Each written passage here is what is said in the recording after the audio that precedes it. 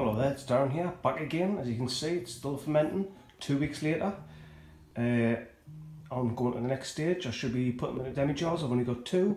Hard to get them. Uh, it will go. I've tried for two weeks to get some. Can't get any. Uh, there's a local place where I live. Uh, that's got none either. You can get them on eBay, but I'm a bit worried about getting them because when I read some of the comments, uh, they turn up in the smash because they're not that strong. Some of the demi jars quite thin glassed. Maybe that's true. I don't know. Anyway, I'm going to be transferring to this bucket here. Uh, it has been sterilised. As you can see with the sterilised cleaner. Uh, it's been in there for over 10 minutes, been swilled around. I'll pour it out. You can reuse that again if you're doing bottles. Uh, wash the bottles out with that and then swim my water. So I'm going to empty that, so it with water, that'll be ready. Uh, the pipe is obviously being sterilised here was sterilised. Water in here. Remember, sterilise everything. I'm going to have a little taste and see what it's like. Hopefully it isn't like vinegar. Fingers crossed. So as you can see, I've uh, give a little bit of suck on the end there. Uh, it's coming out. A little bit of a taste there. Bloody strong. I'll get a proper taste in a minute. Put in a cup and see what happens there. So we'll see how long this takes to siphon off. See in a minute. Siphoned off. The original barrel has been cleaned, washed, uh, hot water, soap and rinsed out and then sterilised for about 10-15 minutes sterilised solution uh, gone down the sink swilled out again with water so that's clean. Uh, obviously when I siphoned all the scum that was in the barrel has gone. It was 25 litres so I think I've got 21 21 and a half. There was a lot of scum in the bottom so I don't want to get too much into the barrel and the day. It's still wine isn't it? Uh, as you can see you know it's quite cloudy I'll have a taste yeah, I'll have a taste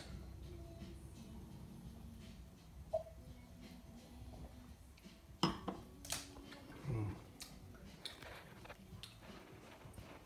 I can definitely taste alcohol in it I don't know whether it's me, whether because it feels so alcoholic at the minute. It's got a bit of a acidity, acidity, I can't say the word, acid sort of taste, I don't know. Uh, but it's still sweet.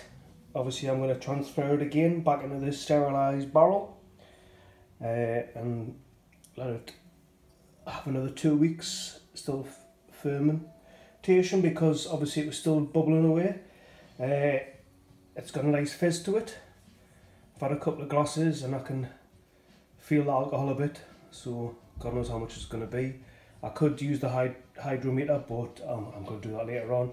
Uh, obviously, like I say, is the sterilised cleaning. You've got Campden tablets. I'm quite sure you meant to put that in beforehand before you put the yeast in. Uh, the same as the Pectolase that is meant to go in beforehand to clear it and steriliser to stop the fermentation. Uh, I'm going to put some of the Pectolase into the barrel. I don't think it's going to affect the fermentation, I don't know, let us know. Uh, so we'll get that done.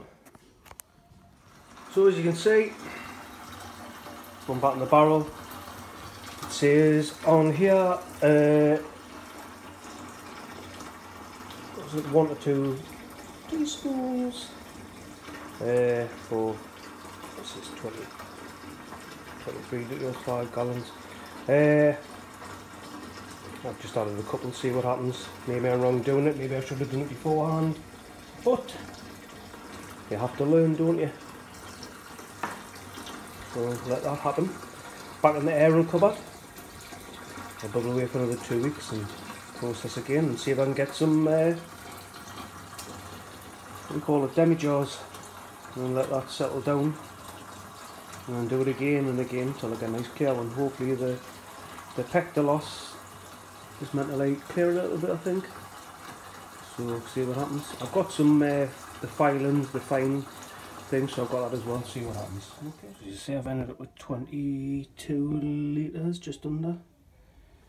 After taking all the stuff out and just trying to get as fine as I can. I've lost about three litres, I don't know. Plus I've been drinking some.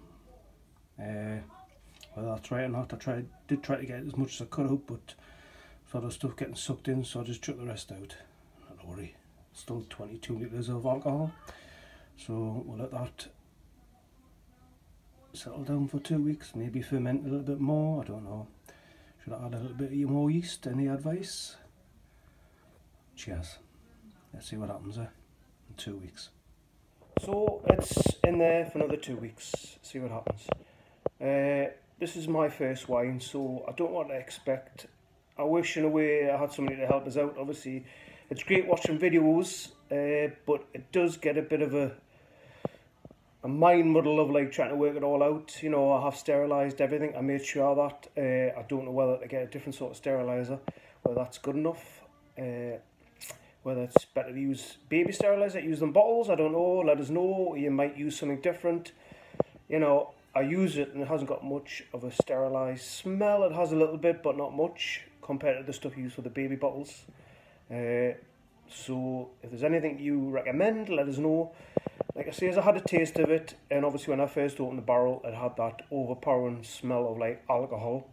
But I thought, does it smell like vinegar? I don't know. It doesn't taste like vinegar. You would, I think I would know, but it's got a slight smell of it. I don't know whether that's just the alcohol that's making you think that it's like vinegary. I don't know. It doesn't taste vinegary. It's sweet, but it's definitely got alcohol kick to it a little bit. I can feel it myself uh, now. A little bit of a alcohol here. So uh, in two weeks' time, do it again. Like I said, I put the peck, peck uh, loss. Should put in beforehand, but I put in after. Listen, it's all learning curve. Uh, so if you've got any more tips out there, let us know. It'd be great. You know, remember this is my first time watching plenty of videos and I'm trying to learn. So hopefully this will be a fantastic wine. Okay, see you in two weeks time for video number four to see what it's like. See you later.